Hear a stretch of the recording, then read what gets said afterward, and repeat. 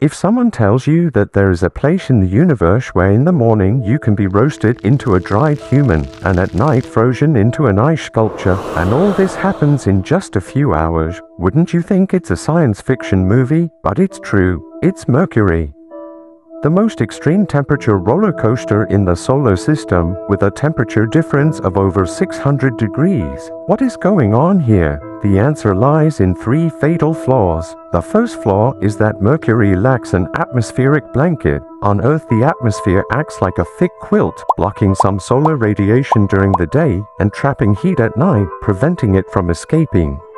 At Mercury, its atmosphere is so thin that it is almost non-existent. When the sun shines, the heat directly hits the surface. As soon as the sun sets, the heat instantly escapes into the deep space. Without the atmosphere as a buffer, the temperature naturally rides a roller coaster. The second flaw is that Mercury rotates too slowly. Earth takes only 24 hours to complete one rotation, but Mercury takes a full 59 Earth days to rotate once.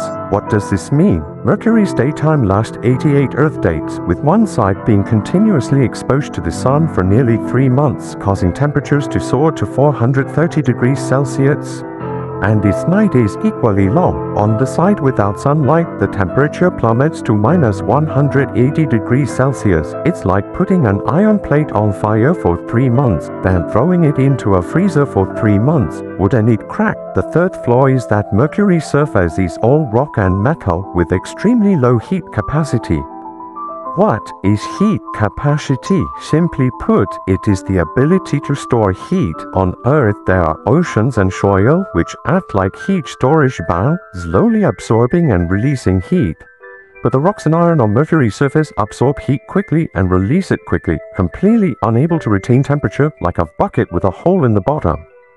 So you see, without atmospheric protection, with an absurdly slow rotation, and unable to store heat, Mercury is like an orphan forgotten by the universe, constantly swinging between extreme cold and extreme heat. Next time you complain about the weather being too cold or too hot, think of Mercury. Our Earth is simply a greenhouse paradise in the universe. If this video has given you a new understanding of this mysterious planet, remember to like and subscribe. We'll continue exploring the secrets of the universe in the next episode.